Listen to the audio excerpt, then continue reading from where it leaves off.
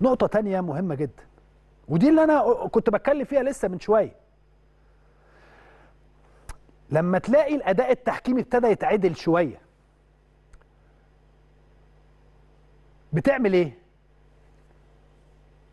السنة اللي فاتت النادي الأهلي هتكلم عن النادي الأهلي برضه مش هتكلم على حد تاني. النادي الأهلي النادي الأهلي خسر الدوري السنة اللي فاتت بسبب بعض الأمور الفنية لي لي لي والكلام الحلو اللي إحنا عارفينه ده وبنقعد نتكلم فيه ولكن في نفس الوقت بسبب حاجة كبيرة جدا وهي الأداء التحكيمي الغير جيد. أنا بحاول أوصف آه، على قد تقاليدنا وعاداتنا في النادي الأهلي يعني.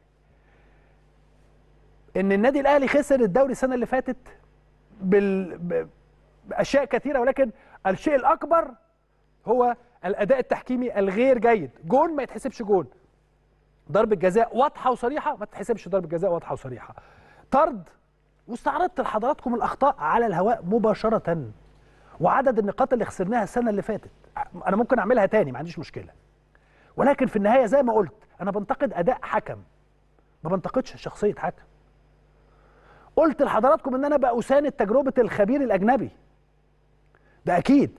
لكن في نفس الإطار انتقاد أداء مهما كان ال- ال- الخبير ده ولا مهما كان مين بشكل مهني ومحترم. فالاعتداء على الحكام أمر غير مقبول. الاعتداء على الحكام أمر غير مقبول وخروجهم بهذه بهذا الشكل من بعض المباريات اللي بتتلعب أيضا أمر غير مقبول. أم، صورة زي دي مش عايز أشوفها في أي مباراة أنا ما أعرفش ده ماتش إيه لكن الحكام يخرجوا بهذه الطريقة وبهذا الشكل حتى لو انتقدناهم في البيت الكبير لكن لا نقبل أي تعدي على حكم سواء بهذا المنظر أو باللفظ أو باللفظ ولا باللمس ولا باللفظ. سواء مصري أو أجنبي شيء مشين. وهذا الشيء أو هذا المنظر يسيء للرياضة المصرية.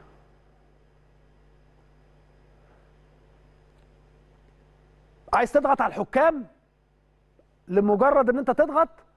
علشان هناك بعض الأندية ابتدت تخسر نقاط. بالمناسبة لسه بدري. لسه بدري. اللي بيفهم كرة قدم وأنا هنا بقى أخاطب جمهور النادي الأهلي. اللي بيفهم كرة قدم زي جمهور الأهلي كده هيبقى فاهم إن لسه بدري. ممكن أنتقد عشان أصحح. آه. ولكن هقف مع فريقي وكل حاجة زي ما عملت زي ما بيعمل جمهور النادي الأهلي كالعادة. لكن إن أنا أشتم وأعمل وبتاع لمجرد إن أنا بضغط عشان الحكام ترجع تديني ضربات جزاء وترجع تديني بتاع والكلام ده كله نتمنى أن يكون هناك من لجنة المسابقات. واتحاد كرة القدم مش عارف موقفهم إيه الحقيقة بعد اللي اتقال معرفش ماليش دعوة. أتمنى إن هم يكون لهم أنا بتكلم هنا على موقف حصل في الدوري العام المصري. لأنه يجب أن يكون هناك موقف واضح لم- لمنع تكرار مثل هذه الأحداث. على فكرة ده مش شغف. هات الصورة تاني. اللي إحنا شفناه ده محدش يقول لي ده شغف. أمسك يعني أنا أمسك البتاعة دي دلوقتي وأرميها على حد يبقى ده شغف؟ يبقى حماس؟ ولا إيه؟ في فيديوهات. أنا يعني اتكلمت في الموضوع ده بالراحة امبارح والنهاردة. أنا يهمني الشكل العام لكرة القدم المصرية وحماية التحكيم المصري. انتقد أداء زي ما أنت عايز ولكن ليهم حق إن هم يخرجوا في أمان. ويديروا مبارياتهم في أمان مهما كانت الظروف. عندهم أخطاء كل الحكام عندهم أخطاء وبننتقدهم بشدة. بننتقد أدائهم بشدة في هذا البرنامج بالمناسبة. ولكن حتى الحكم اللي لعب امبارح وحكم آه، كأس العالم له أخطاء وقلناها.